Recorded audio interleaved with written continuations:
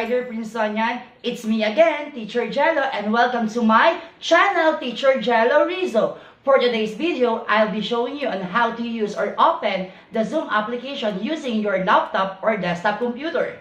If you want to be updated for upcoming videos, don't forget to hit the subscribe button, like, and the notification bell.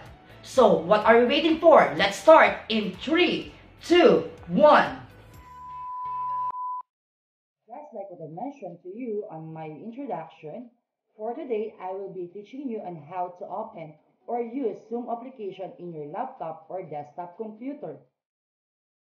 Here are the steps in opening the Zoom application. First step, look for the icon of Zoom on your desktop or laptop. As you can see on your screen, what you are going to do is to look for the icon of the Zoom application on your laptop or on your desktop computer. After that, for the second step, double-click the Zoom icon or click the right-click button on your mouse, then click Open. This is the way how you are going to do it. Look for the Zoom icon on your desktop and click. After that, using the right-click button of your mouse, click the Zoom App application icon and wait for the menus to pop out.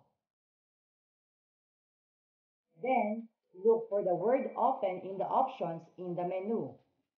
After that, wait for the Zoom application to launch. Congratulations! You have successfully accessed the Zoom application. That's why, welcome and enjoy using the Zoom application. This time around, I'll be teaching you on how to join Zoom meeting. These are the steps on how to join the Zoom meeting.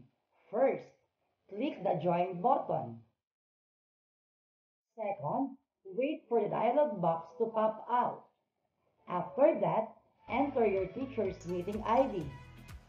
After typing the meeting ID of your teacher, click Join. After waiting, congratulations, you are already part of the meeting. So, what are you waiting for? Enjoy, be happy, stay safe, and good luck to your online classes. Once again, this is Teacher Jelo at your service. Bye-bye!